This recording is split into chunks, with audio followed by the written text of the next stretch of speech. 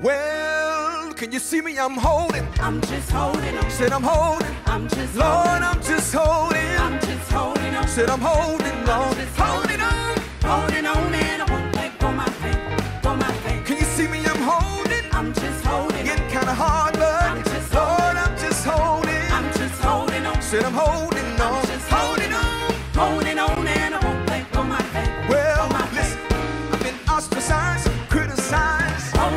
to my faith. Saints of God, the things I suffer brought tears to my eyes. Holding on to my faith. I'm a Christian, thank God, saved by grace. Holding on to my faith. Had many hard trials running this race, but I'm holding on to my faith. Can you see me? I'm holding on. I'm just holding. I'm just holding. I'm just holding. Lord, I'm just holding. I'm just holding on. Said I'm holding.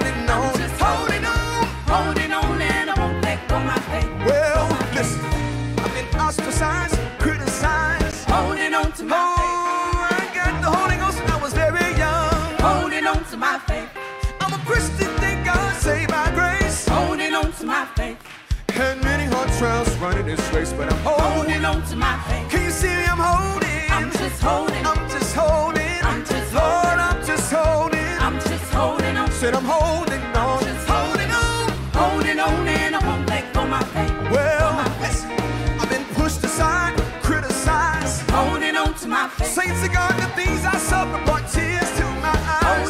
Well, Satan was busy stirring up wrath, putting up stones to block my path. My enemies are leaking all the hurt they can, throwing out rocks and hiding their hands. You dig one ditch, you better dig two, cause the trap you set just might be for you. God put it in my heart, you can't take it. My soul's on fire, the world can't harm me. I'm working, working, toiling.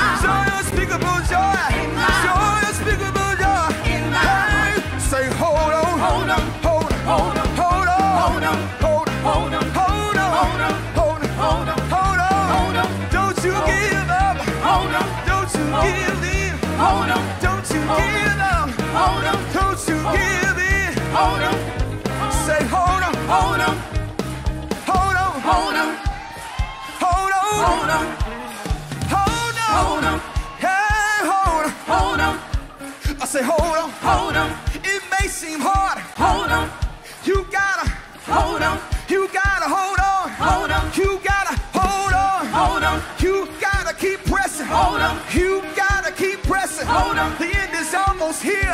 hold on, The end is almost here. hold on, We gon' behold his face. Hold on. We gon' behold his face. hold on, Hold on to that faith. Hold on. Hold on to that faith. Hold on. All you gotta do is believe. Hold on. You got to believe. Hold on. You got to believe. hold on, Refuge, hold on. Hold on. Houston, hold on. Hold on. Lake Charles, hold on. Hold on. Lafayette, hold on. Hold on. Monroe,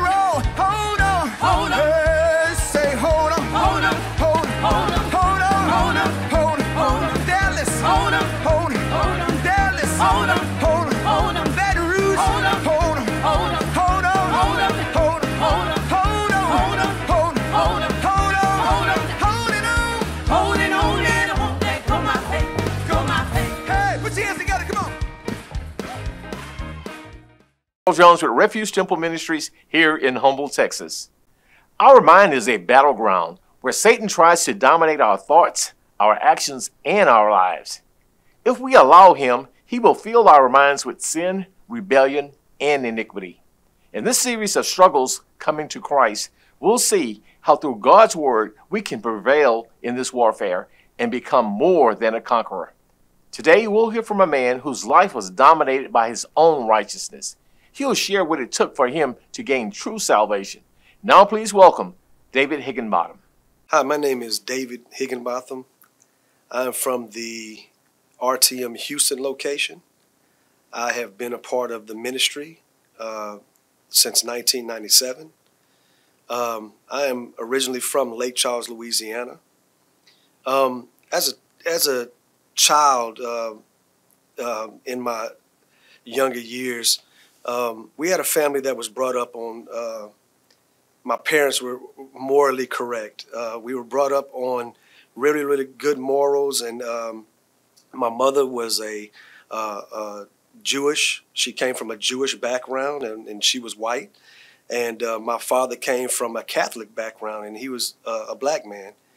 And so we were brought up in a, a racially diverse situation, and also a religiously diverse situation.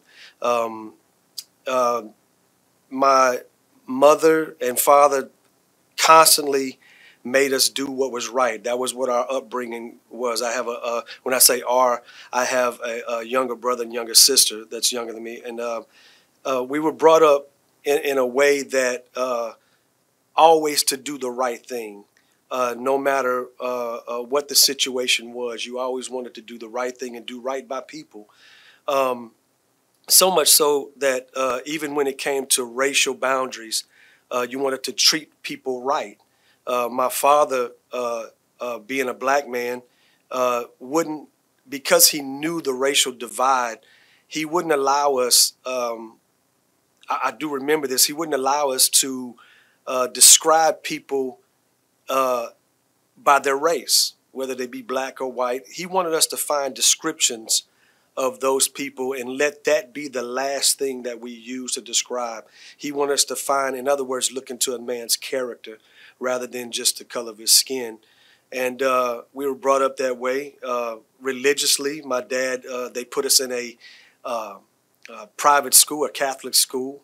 And uh, so we were brought up around prayer. We were brought up uh, going to religion every day for an hour. We had to read out the Bible for an hour. Um, also, too, from the Jewish standpoint of my mom, uh, my mom was a very outspoken woman. Uh, she uh, uh kind of was the rebel in her family, so to speak, because of her outspokenness. Uh, she she spoke up for people. She always took up for the the the uh, the underdog, so to speak. And but she was collective. She wanted us to be uh, uh, well rounded in religion. So she had us going to Jewish temple when we were young. and uh, we even uh, wore the, the, the little yarmulkes and and did all those type of things and uh, uh learned of the Jewish faith uh, when we were very young. Um, so fast forward, and we, we like I said, we, we were brought up in, in a way that uh, to wrong people or to discount people for what they believed in, we weren't. We were all inclusive, you know. Um, our house was the center of attention in our neighborhood. We grew up in the terrace in, in Lake Charles, Louisiana.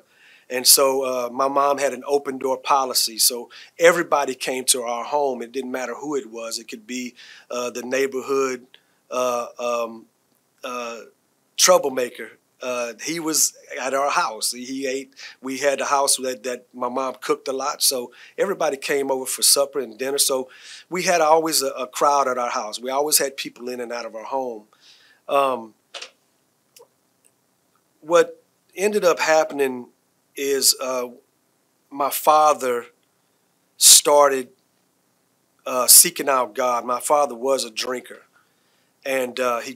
He, he drank a lot of alcohol and but and it was from due from uh, uh, being social. You know, we were we were a social family, so to drink a little alcohol wasn't really wrong in the beginning of our life uh, for my parents. Now they didn't let us drink any alcohol um, until we got older, but um, my father became an alcoholic, and uh, he came in contact uh, with a pastor Johnson. And uh, it changed his life. And so, what that did for us and our family, what it did for me, is I saw the transformation of my dad uh, with his uh, introduction into holiness, and um, he had us doing that so much so. Uh, when I say introduction, he would he was uh, praying in front of us. He was reading the Bible in front of us. And so we started to recognize something a little bit different than the temple and the Catholic Church, the Jewish temple and the Catholic Church. Um, so my father, his introduction to holiness, he, I remember coming home when I first heard about being delivered.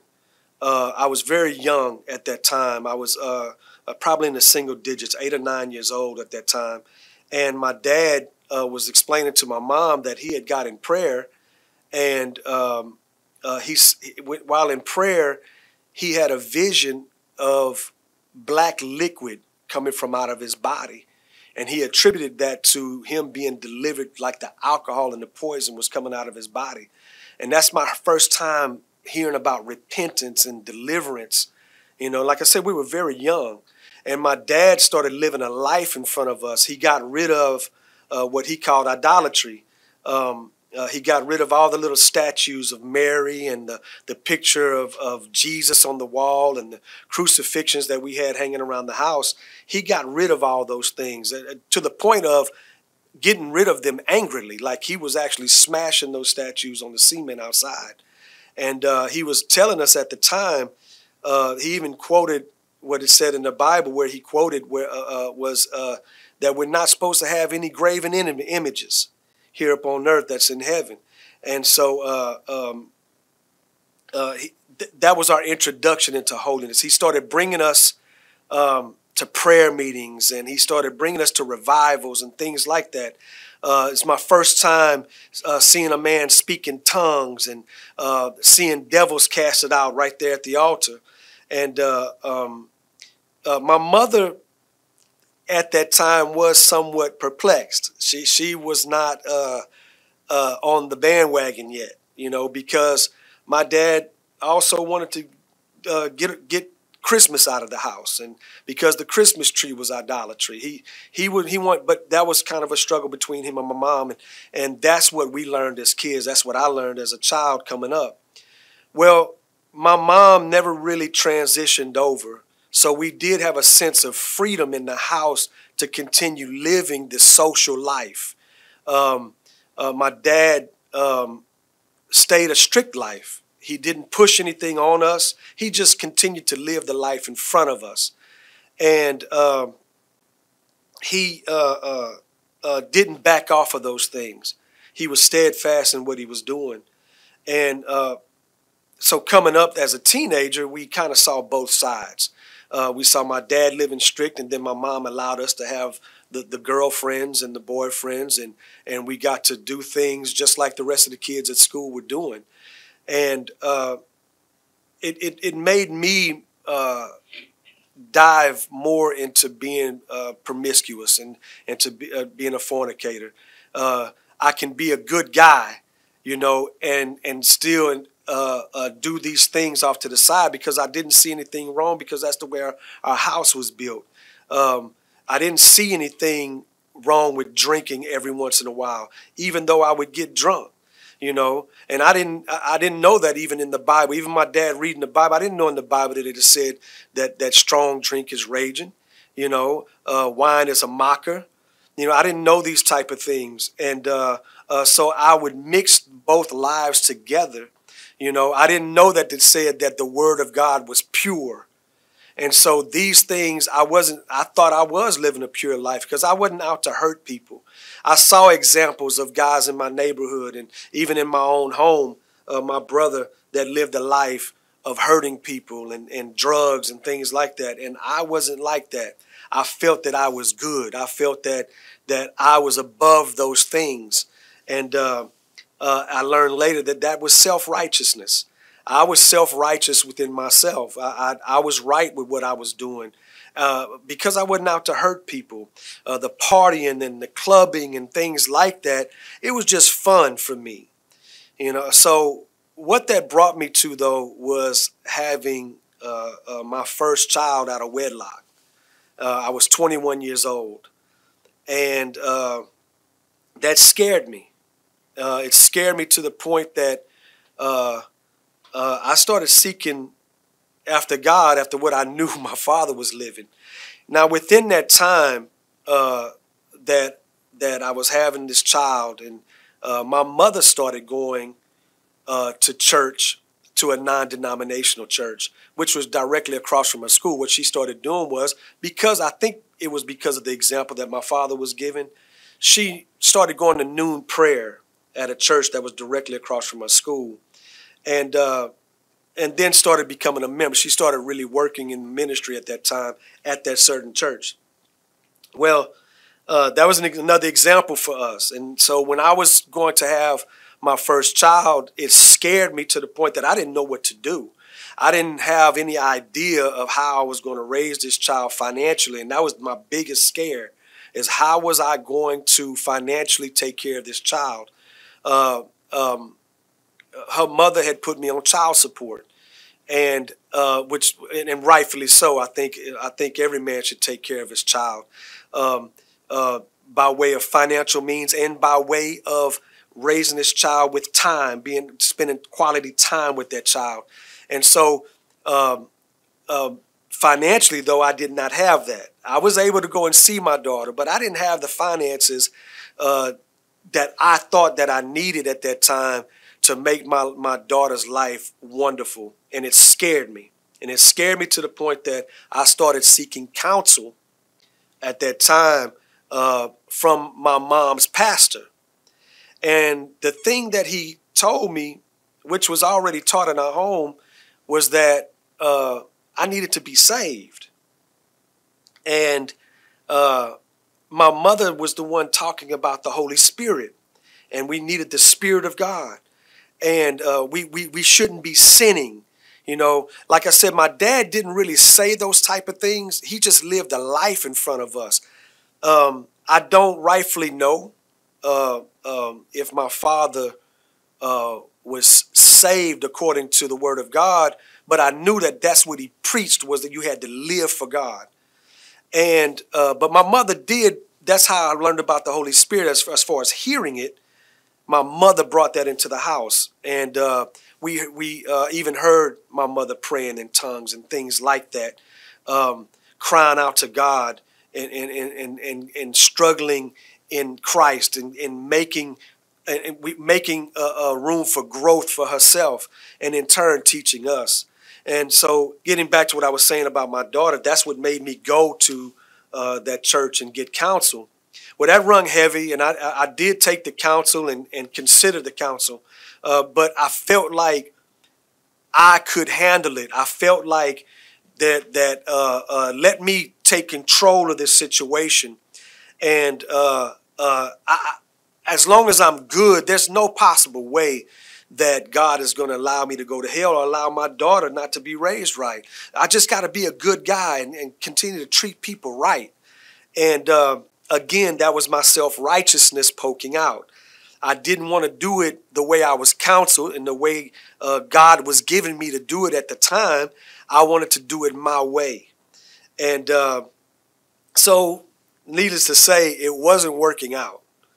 And uh, uh I just was bouncing from job to job, chasing around, and I was lost. I was lost, but thinking that I was doing the right thing. The Bible states that there's a way that a man thinketh that is right, but it leads him to destruction. It'll lead him to death. And that's the life I was li- living. I thought my way was right only because I thought I was a good guy. I thought that uh, uh, that by treating people the right way, I, it would further me in life, even to the point of charming people.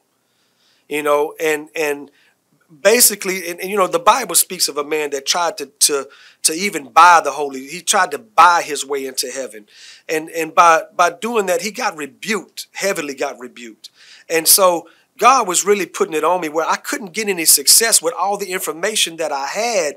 I wasn't going to get any success without Him. And what I mean by success, there's peace in God.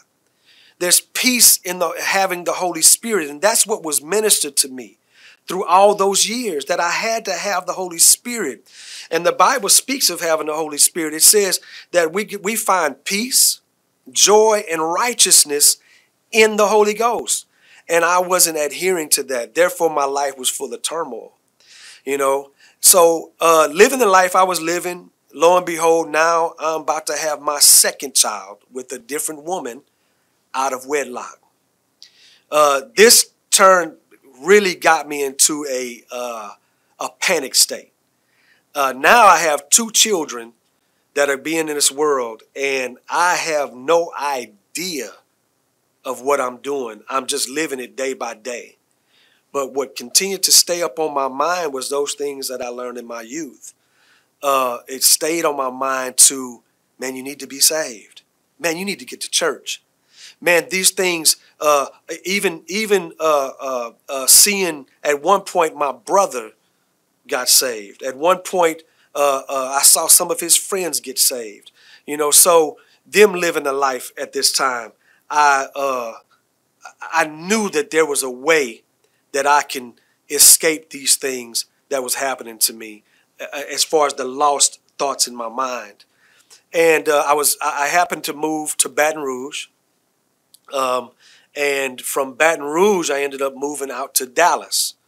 Okay, uh, in that time, uh, I had met a brother um, uh, from the Refuge Temple Ministries and uh, he, of course, preached the same things about being saved and, and having the Holy Spirit.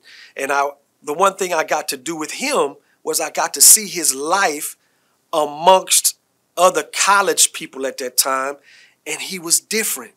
It was something about him. He didn't get caught up and so excited about the social life that excited me and that excited others around us.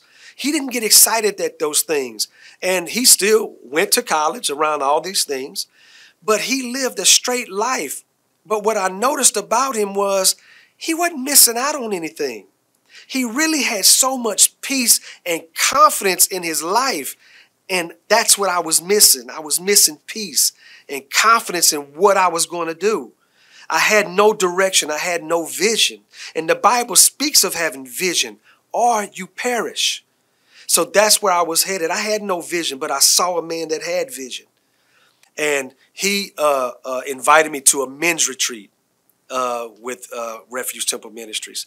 And uh, I agreed to go. And I can't recall whether or not I paid for it or he paid for it. I was trying to think, did I pay for it? Because I knew I didn't have a lot of money at the time. And uh, I want to say that he paid for it.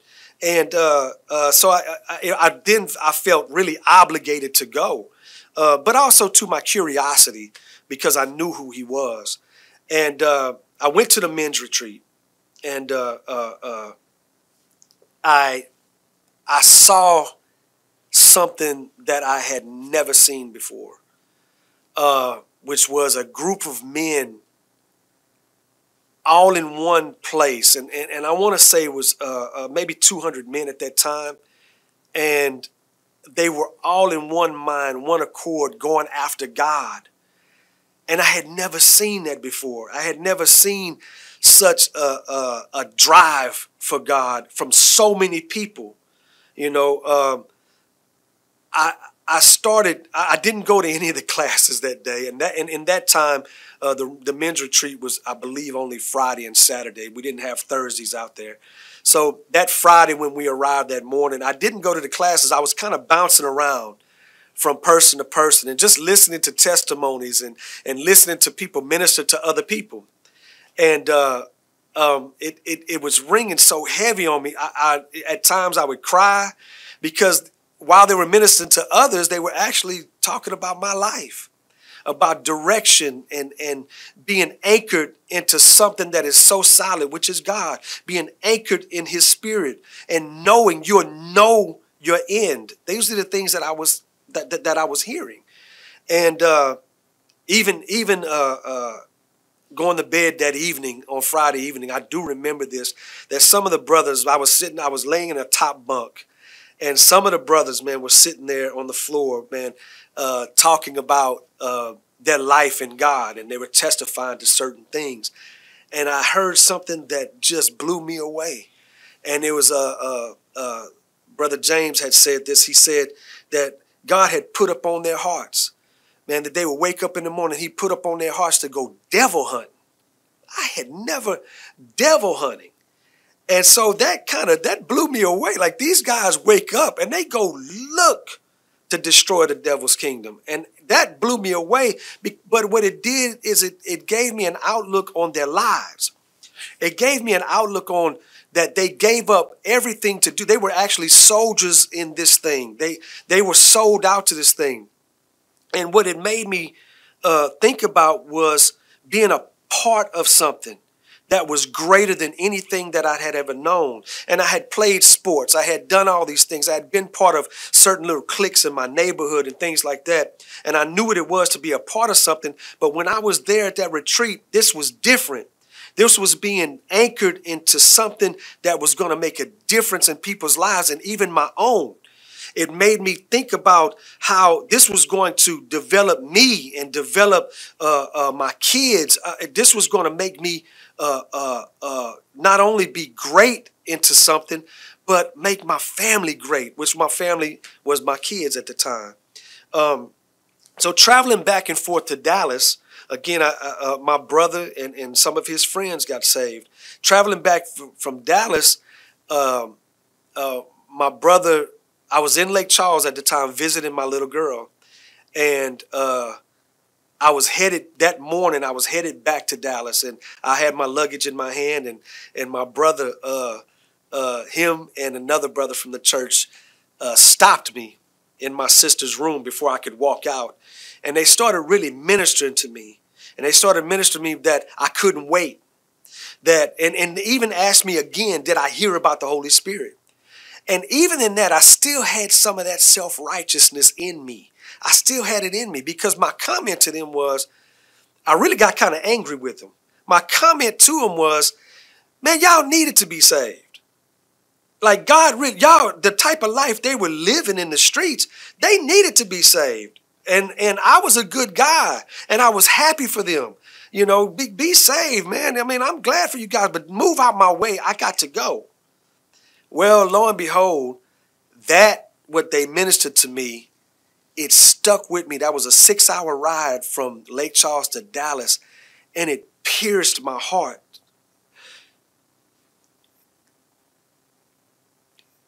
It did something for me, and I couldn't let it go.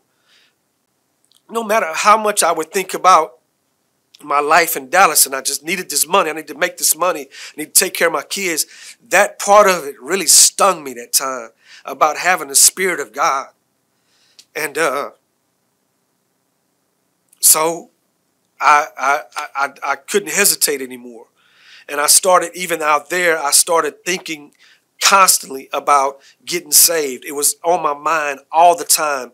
And uh, I, started coming back to Lake Charles every other weekend. I tried to come back to Lake Charles and I started going to church.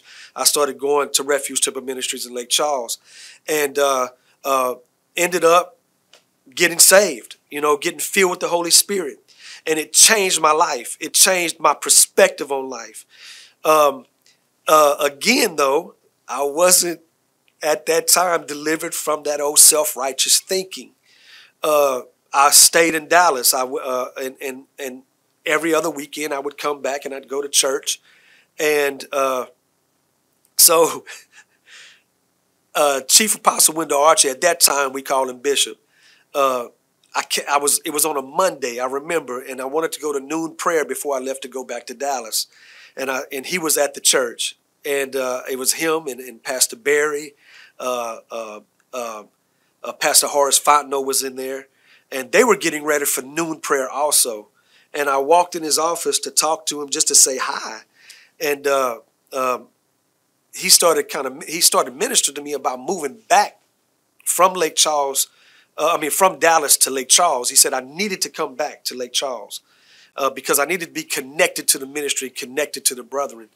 And uh, my little old silly self, I kind of looked at him was like, man, I mean, that's that's where I have my job at. That's where everything is. And he explained to me even the word of God that day uh, that any man that give up houses, any man that give up uh, uh, the ways of his children and his wife and all these things of the world, basically, that God will supply. You go after God, give this up for God, and God is going to bless you even the more than what you had. But you got to give all these things up. You know, even looking back now of what my brother and his and, and, and another brother from the church, when they ministered to me about the Holy Spirit, it brings me to the word of God where it says, you know, how forcible are right words.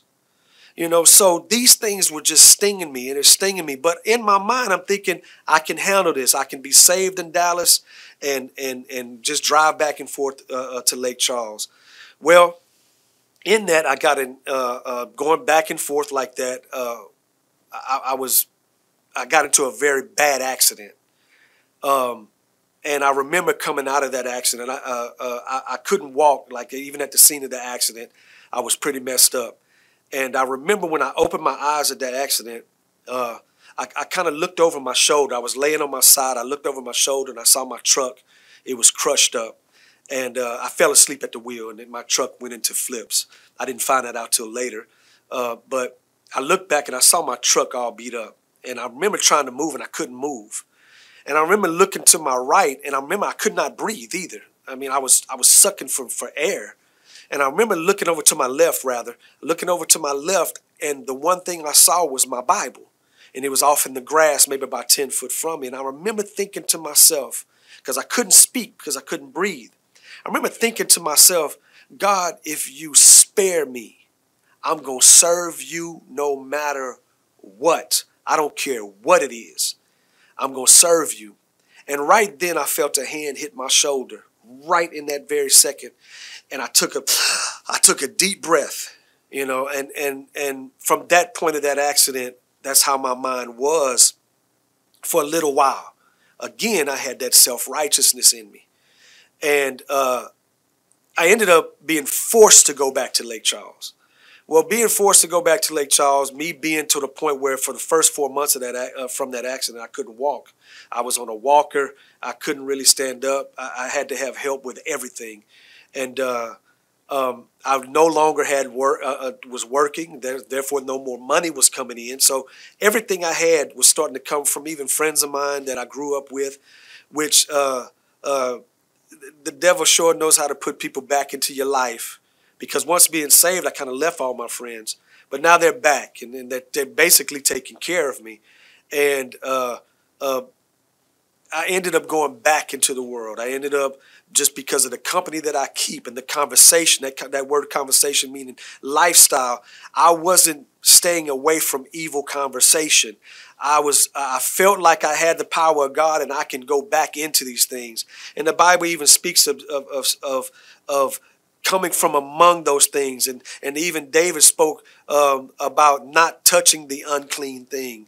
And so, uh, but that's, that's the life I was doing. That's what I was, and, and, and I quickly backslid. So I was living the same thing that I was doing uh, prior to being saved, uh, hunting for work, uh, my social life had come back as far as being back in the world, going to the clubs and doing things like that. Still thinking that I'm okay because all I really got to do is make a decision to go back to God. I'm right there, you know, and uh, I know how to pray now. I mean, I, I have all these things, but still, I, it, there was something inside of me letting me know that if I was to lose my life this day, I was not going to make it into heaven.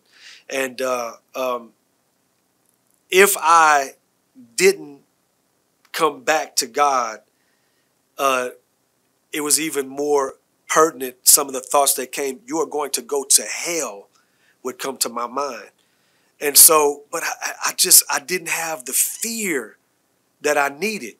You know, even through the accident and even through all, all the stuff that had happened, I did not have that fear to go back to God. And uh, so I was living my life. And I end up uh, meeting uh, my first wife. And uh, um, now this will be now, she, she, gets pregnant, and we have our third, I have my third child now. And uh, uh, we're living life, and, and it's just, you know, I have no counsel in marriage. I'm just living according to what I think I know, you know. And uh, we end up moving uh, to Houston and uh, for a job.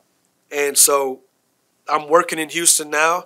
I'm making decent money. I feel like I've kind of arrived because I have a career type job.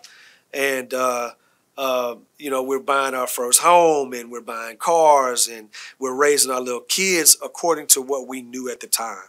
And again, this was without counsel. And the Bible speaks of their safety in the multitude of counsel. And that's just not for people who are saved, that's for all people. You need to gain counsel with whatever you're going to be doing. When you try to do it on your own, you're left on an island by yourself. So you need to get counsel on everything that you do. And it's going to bring an ark of safety with you. Ultimately, from godly counsel, that's going to bring the ultimate safety to you. Um, so living life and uh, uh, it, it, starts to kind of spiral out of control because money, no matter how much money I, I made, uh, I didn't pay tithes when I wasn't saved. So the Bible speaks of, of, of you robbing God. Uh, uh, in Malachi, it speaks of how, how do you rob me? And it says in tithes and off offerings. And so no matter how much money I was making, I was cursed with a curse. I couldn't hold on to any money. And I was making more money than I had ever made in my life. And we were living less than check to check. And uh, it's caused a huge strain on the marriage. And, uh, but I still, in my mind, I'm going to keep forging through. I'm going to keep forging through some kind of way. It's going to work itself out. And, and I can tell you that's a lie from the devil. It's not going to work out. Uh, unless you adhere to the word of God, unless you really count the cost of what you're doing and really go after God in these things and seek after that godly counsel, it's not going to work itself out. Uh, it's, it's, it's going to be to your detriment the way if you if you remained in this self-righteous state that I was in. Uh, so now we're me and my wife at the time we're headed for divorce. Uh, I, I, and it was like a roller coaster.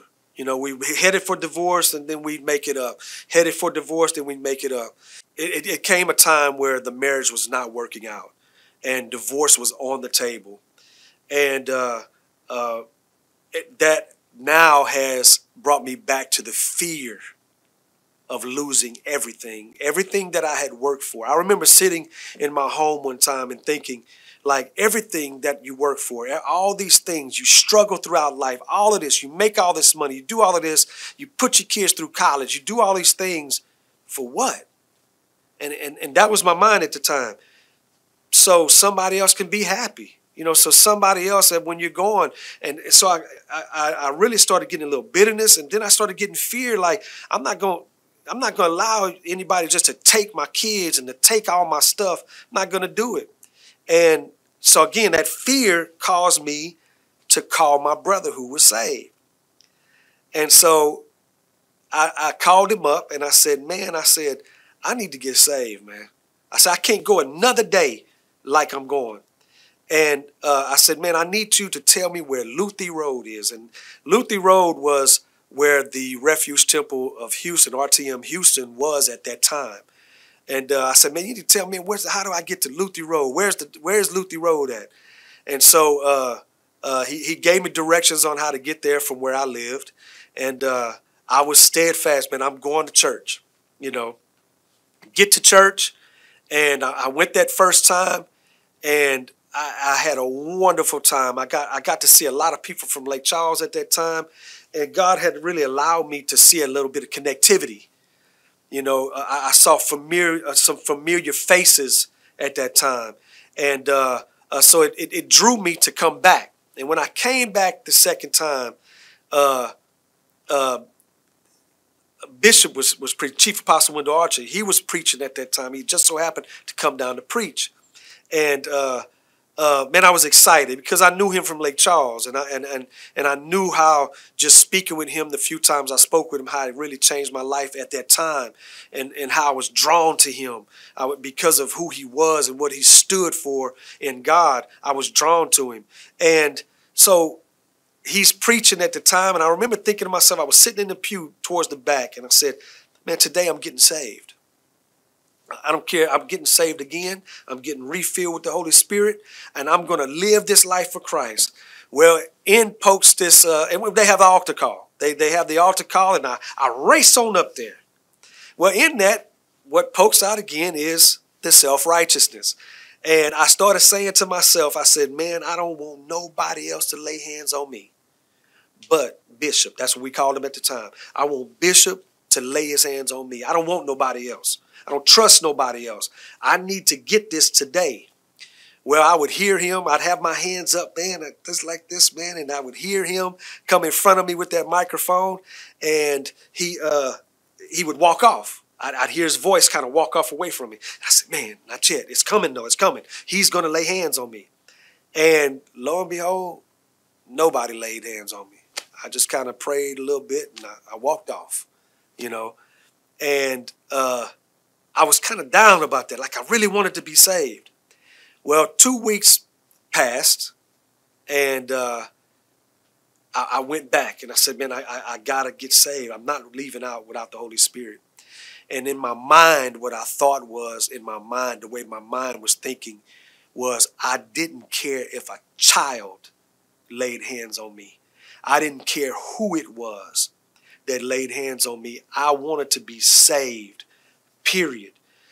And at that moment, uh, as I'm thinking that service is ending, right, and uh, uh, it felt kind of felt like uh, it looked like uh, Bishop was not going to call an altar call, and so I, I started getting kind of worried. I started kind of looking around, like, wait a minute, you know, I can't go another week you know. And I said, God, I got to get saved today. And when I said that in my mind, I saw a brother towards my left. He got up and he went to the altar. When he did that, that's when I had the, the I, I got up and I went to the altar. And again, in my mind, I'm saying, God, I don't care. I don't care about my life anymore. I don't care what it is. I have to be sold out to you. And at that moment in my life, beyond even the first times, it was when my mind was made up to live for Christ.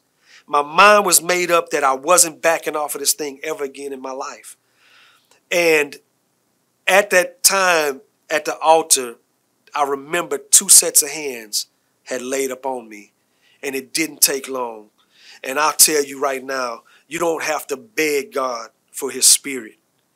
Uh, uh, uh, when I repented from who I was, immediately my mind was made up to serve, and immediately within seconds, I started speaking in tongues. And I felt something even more than the first. I felt something like a relief. Like if a person makes up their mind on anything, if you stand strong and you claim, you you you really take a hold of what you're you stand in what you believe in you stand and you claim what you're doing it's going to give you a strength even the more in god and it gave me a strength though i felt light and though i felt man just so relieved it strengthened me because mind you i still got to go home to a wife didn't no more want to see no refuge temple than a man in the moon i got to go back home to that and i got to live this life in front of uh, of, of in front of a woman with a marriage that's not working out.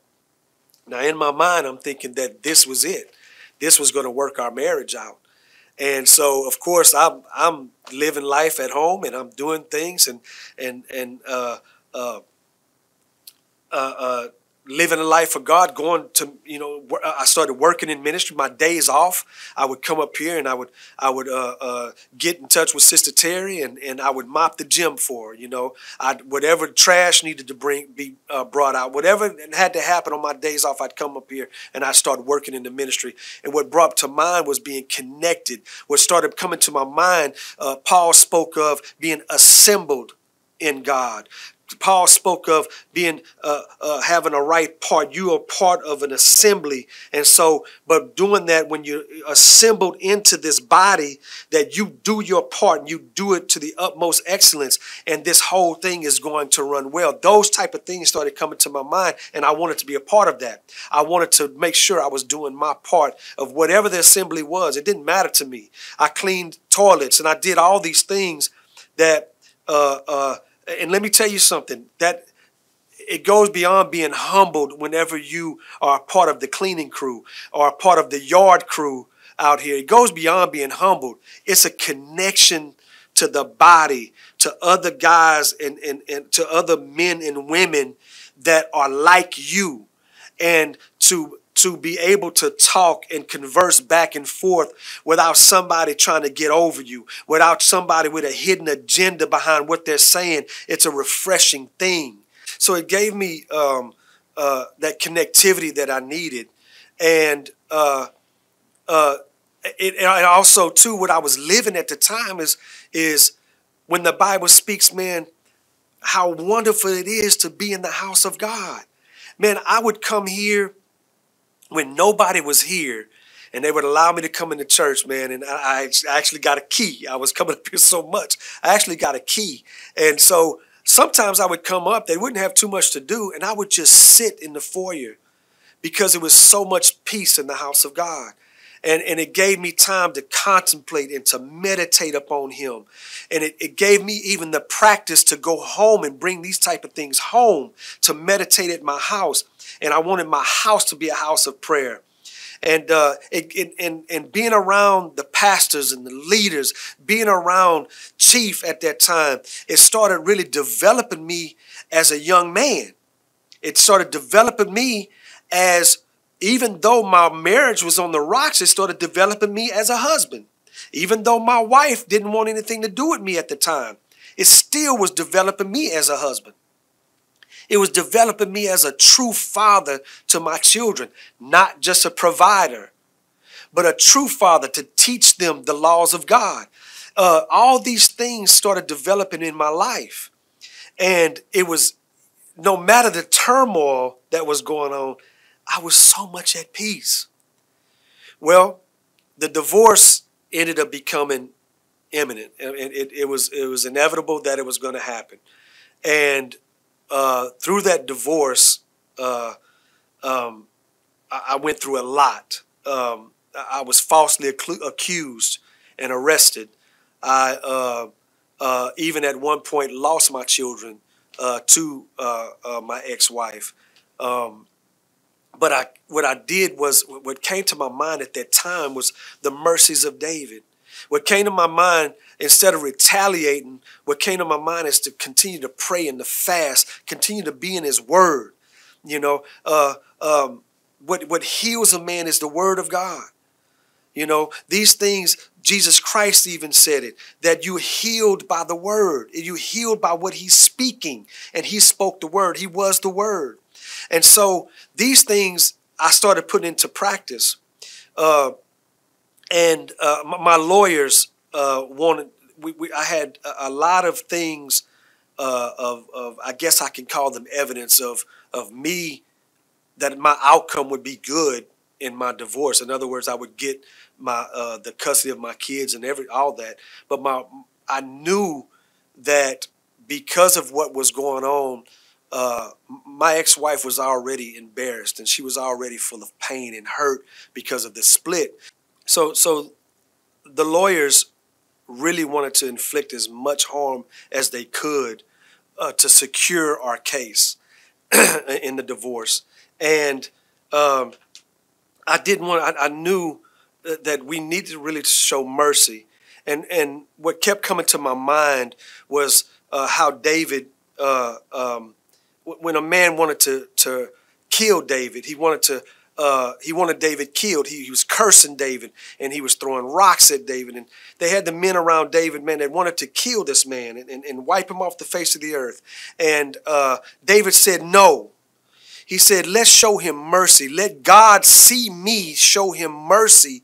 That way, God will show me mercies on the things that I have done. And I knew that I didn't live a perfect life before God. Even in Him, I didn't. And uh, I knew that if I did this, that God would show me mercy. And it frustrated my lawyers. And, um, but I knew by standing on the word of God that we would become victorious. And, uh, and it was victorious. Uh, it ended up being where uh, the divorce went through, and, and I gained custody of my children. And I was able to continue to raise my children uh, in God and in the ministry. So from that point, I uh, I really sank myself into ministry. Um, again, working ministry. I, uh, I, like I said, I was doing a lot of the yard work, and I was doing a lot of of uh, cleaning around the church. And then I uh, was asked to come and help with sound, uh, with the sound team. And my response at that time, whatever you need me to do and uh, that turned into now uh, where I've been doing it now for uh, going on 12 years now, uh, doing sound, and uh, it, it, just has been an enlightenment uh, to me to live this life. working sound, I get to work hand in hand with a lot of the pastors. Working sound, I get to work hand in hand with our vocalists and with our musicians, and they are all women, men and women of God and so uh, it's still uh, being connected and being assembled and doing your part that this whole body can move forward. And um, uh, so raising my kids, I, I'm now working in ministry almost full time along with my full time job. Uh, I, am having I'm having so much fun doing what I'm doing, and I was content. I was content being sing, a single father. Um, I was uh, uh, uh, happy with the freedom that I had to move and to if if, if uh, Chief called and said, "Hey, we need to go to Dallas," if if uh, Pastor Jabbar called and we need to go to Baton Rouge, we need to go wherever it was. The calling was to go do highways and hedges. Wherever the calling was to make a move and to to to go and help somewhere in the ministry, I was free to do that, and I was I was loving my life, and uh, so I started recognizing though that my kids were getting older now. Uh, they were both in high school, and uh, I, I, knew that my children, at one point, they're going to leave, and uh, I, I, started having a feeling like, who am I going to talk to? Because it was always us three. Wherever you saw me, you saw my kids. Uh, uh, if I was here till three o'clock in the morning, sometimes uh, they were here with me, working and, and, doing stuff in the ministry, and but I did think about that. I, I thought about, man, what a, you know, once they go, who am I going to share certain things with? Uh, who am I going to share some of these testimonies with? Because regardless if they were listening or not in the car, which I hope they were, uh, they I would tell testimonies, all kind of stuff. It was my talk was always about what was going on in the ministry. And I know sometimes, man, I'd look even look in the rearview mirror and see my son kind of roll his eyes like, ah, again, you know, we got to talk about this again. So I know, you know, maybe they were listening, maybe they didn't like everything that I said, but that was my ears that I talked to. That was kind of where I vented at sometimes. I, I would vent sometimes of some things, and uh, just about life in general. We spent all the time together. So I started thinking about, man, I'm going to really kind of be by myself you know. And so I remember going into prayer saying, God, uh, maybe I do. this is exactly what I said. Maybe I do desire to be married at one point again, you know. So uh, I started praying about that. If I'm going to be married again, God, develop me as a husband. Develop me now as a husband. And I, I would talk to a couple of, I would get counsel from certain people and uh, uh, get counsel from some of the, the pastors on, on things like that. And, uh, but again, enjoying my life at the time as, as being a single father. well, it ended up being where I really started having a desire to be married. I started having this this uh, uh, something in my gut, uh, and it was all about sharing this life with somebody. It was all about being in the same household with somebody and being able to race home and tell them what I saw today, and and being able to talk about God's word and really uh, uh, uh, uh, ministering to each other, and that was going to be our conversation. And I started really delighting, and I started getting happy about that. Like this is what I want. And so I, I knew from hearing from others, I was going to wait. I was going to wait until that person was, God was going to show me that person. And uh, lo and behold, that waiting, it brought me a holy wife. And that is my my life uh, was with a wife that is holy. I remember her telling me that uh, she was going to love God more than she loved me, and that was my sentiment. I was going to love God more than I loved her. And the reason why is because I knew I knew if I loved God, if I if I and, loving God is this, loving God is doing his commandments. That's loving God. Is yes, you will become emotionally attached to God because that time that you spend with him, it's real and you start having a compassion for him. You start having a, a, a yearning for him. And so, uh, but beyond that, doing his commandments and having faith in his word, it really drove me to love him. And now I knew that if a person comes into my life, my wife, I'm going to treat her right just by default. You know, and so that was my that that's how I, I, I this joy came about in my marriage. You know, now I'll say this. Still had a little self-righteousness and little things to start getting worked out of me now being married and uh, it was the way I spoke. It was the way I, I carried myself in situations. I was used to being a single dad. And so my response to my children was more of a command. My response was uh, to my children was more of pointing things out and getting things done. And I didn't have, uh, uh, in my mind, a lot of time to deal with explanations and things like that and trying to figure things out. Just do what I'm telling you to do, and we, are to, and, and it's to come out right. You just have to trust me. And that I carried over into my marriage. and uh, I remember my wife, uh, she was hurt behind these type of things. And I didn't understand why, even in my mind, of again, self-righteousness. In my mind, I'm thinking, why are you hurt? I'm telling you what's right. But I know this now is the delivery of what I'm saying. Uh, the Bible speaks of being entreatable. The Bible speaks of even uh, my wife being the weaker vessel. And so now, with my wife being a female and being the weaker vessel, I have to really walk tenderly with her and love her tenderly. Um, even through even if i have to correct her in some things it has to be with tenderness. Let god's word carry the weight but let my response let me saying it be tender. And so again i'll go back to how forcibly are right words. It, it's the word of god that is going to make the change. It's not me forcing anything and me being demanding on anything. It's god's word and the power in his word that's going to make the change and uh, uh, and and that's a, even now sometimes a work in progress, and, and it's really being delivered of these things and putting into practice those things that I start to become that that person that can walk tenderly at all times. So working ministry, uh, like I was doing, I was sinking myself into ministry, working ministry, and and being dedicated to the body of Christ. It, it brought me to the point of being ordained, and that was a, it was a shock to me because I thought uh, that I was doing what I was supposed to do, and and and I was going through a lot of. I still had things I was dealing with in my life, and and when you talk about an ordination, uh, that was big, you know, and especially that ordination. That ordination was was one of the big ordinations, and at the time that they had called my name, I saw the other people who they had called, and I always I looked up even to the younger guys that that they had called that night to ordain. I looked up to those guys, and. Uh, even so much so uh, as as far as like, man, this ain't. I don't think this is good.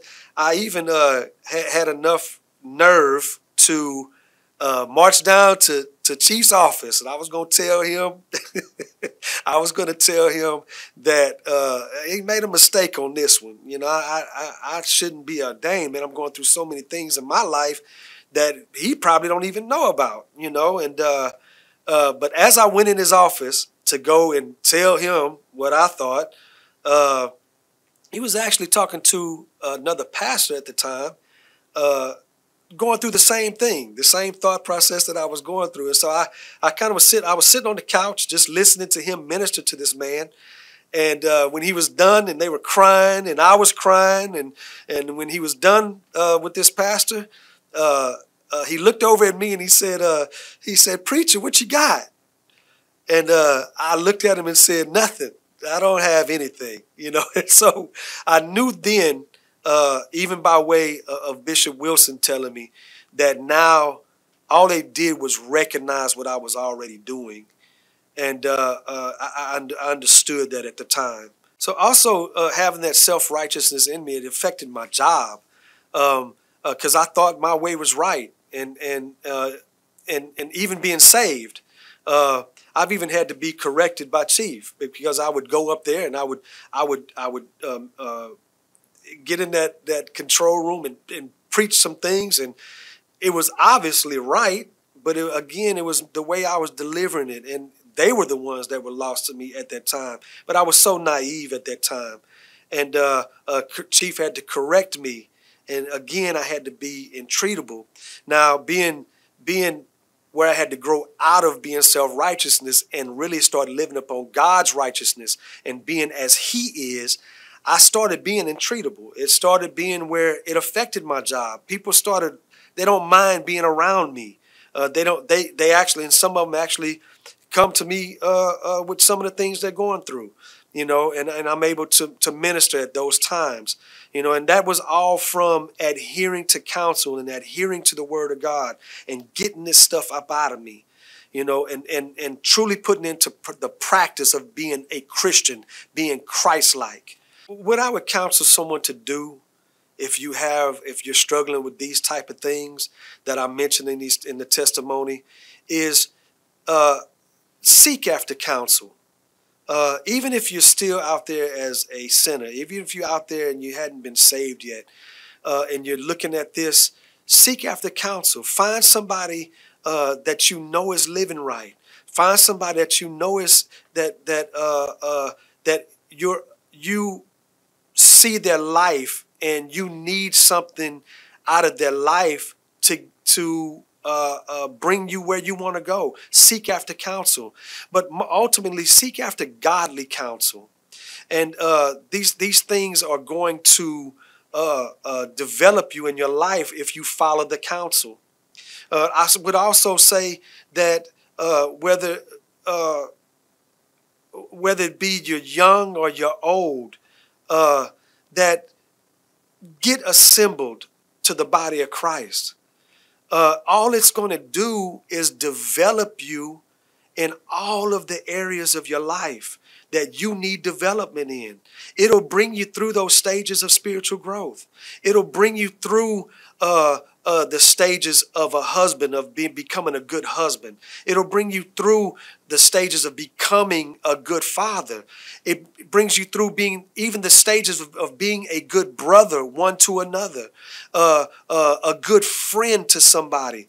And that all comes from being assembled in the body of Christ. I, I would also say that that growth is a choice. Um, you can either stay stagnant where you are. And usually that means that that you're not seeking after counsel. You're only going to do it your way. And so your growth is only going to be by what you know. And that is going to hit a ceiling. Uh, you have to find out from other people. So your growth is going to be your choice in this life. And uh, the way I was able to grow was from the fundamentals of being a Christian. And uh, God showed me this at one time that those fundamentals are prayer and fasting and studying and then applying those things to your life. You're going to learn how to be assembled from prayer, fasting, and studying. You're going to learn how to grow from prayer, fasting, and studying. You're going to learn about the safety and the multitude of counsel from prayer and fasting and studying. So these fundamentals, by applying them to your life, you have no choice but to grow. And God will have you where you're developing, you're growing in Him. And there's no other growth more satisfying than that. And I'll go in a word of prayer. Lord God, we appreciate you for this day, Lord God. We appreciate you, Lord God. Oh, Lord God, for all that you do for us, Lord God. Lord God, I appreciate you for these testimonies that you have allowed me to have in this life, Lord God. I appreciate the struggles, Lord God, that caused me to grow, Lord God. I appreciate it, Lord God, some of the turmoil in my life, Lord God, that turned me back to you, Lord God. Lord God, in the name of Jesus, Lord God, I pray again, Lord God, that this testimony, Lord God, find the hearts of those, Lord God, who are in need of you, Lord God, and that can, can recognize this testimony in their own life, Lord God. I pray in the name of Jesus, Lord God, that you can continue, Lord God, to develop me, Lord God, and to develop those, Lord God, who are after you, Lord God. Lord God, bring us, Lord God, to that expected end, Lord God. Oh, Lord God, that where we will have victory in you, Lord God, and that every time, Lord God, that we lift you up, Lord God. Oh, Lord God, that you have the glory, Lord God, in all that we do, Lord God. Again, Lord God, we take no credit, Lord God, for those things that have developed in our life, Lord God. But, Lord God, we give you the glory. We give you the, the thanks, Lord God, and the honor, Lord God. And, Lord God, we bless your holy name, Lord God, in the mighty name of Jesus Christ.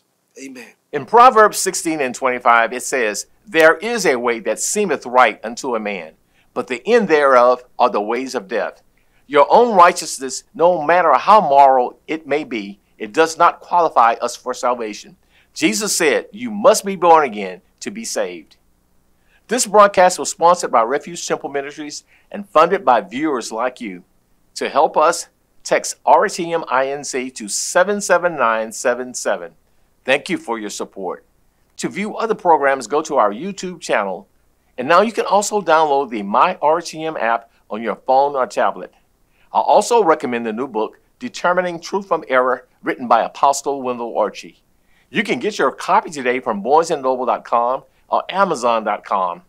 And if you'd like to talk to one of our prayer counselors, you can call us toll free at 1 866 480 1949 or 281 441 1031. Thank you for tuning in today and may God richly bless you. Oh,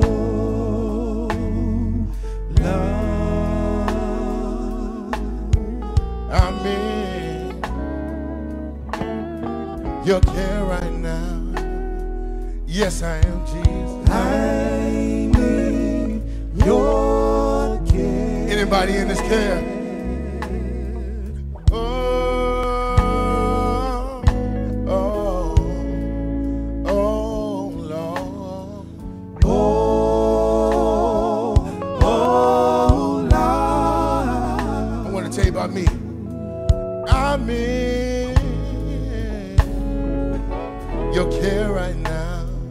Yes, I am Jesus. I need your care. Sometimes I got a special request. I tell him, Lord, I want you to throw your loving arms around. Please, sir, your arms. If you don't mind, around. Can I tell somebody why?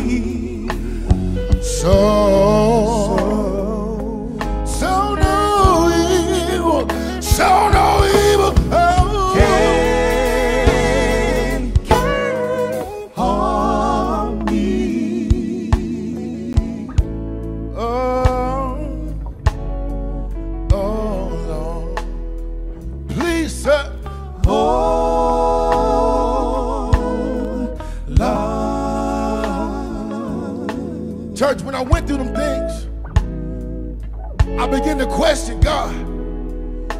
do something wrong? Oh, oh, Lord.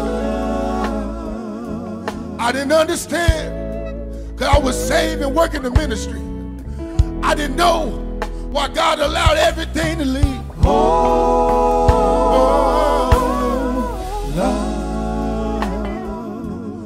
but as I begin to pray, I begin to pray, and I thought about Job, yeah. Oh, love. you know, the Bible said he was perfect. But this is why he was perfect. He said, naked I came into this world. Oh, naked I don't believe. Yeah. He said, the Lord give it. And the Lord take it away.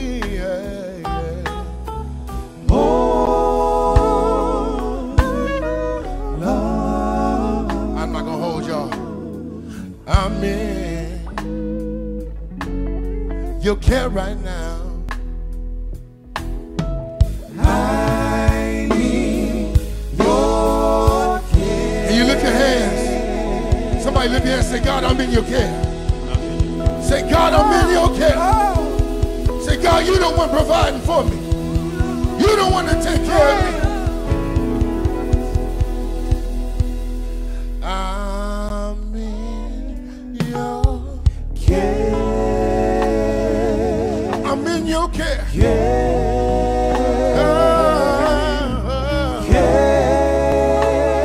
Said I'm in your care. Can I tell you? We don't know what's gonna happen next. Just praying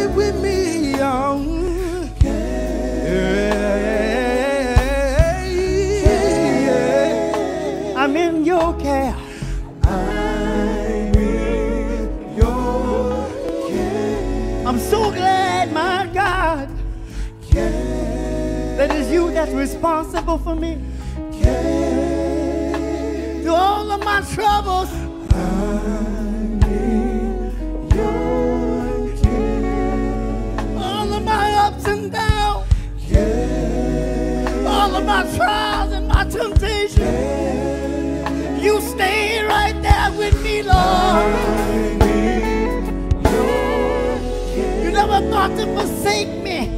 Never thought to forsake. You didn't think to reject me. You didn't think we reject. You didn't cast me aside, Lord.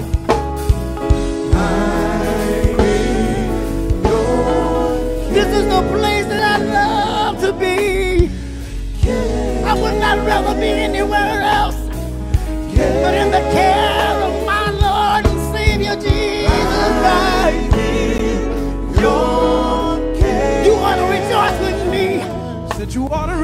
You ought to rejoice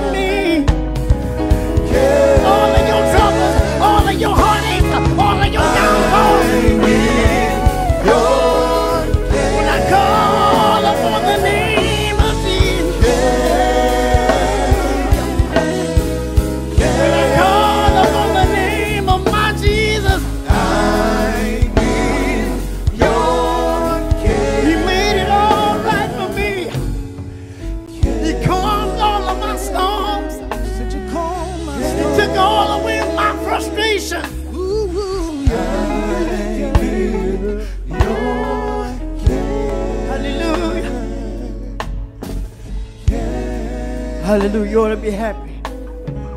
There's no other place I would rather be than to be in His care. And I thank Him for all my trials because it taught me something. It enlarged me.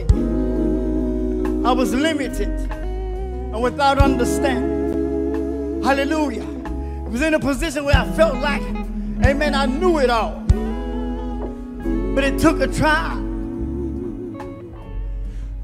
It took a short fall. It took a little bit of trouble in my life. Hallelujah. You had to shake me up a little bit to get my mind right, to get my heart right, to enlarge my territory. Oh, yes, He did. I want to let you know there's no other place to be arms of Jesus.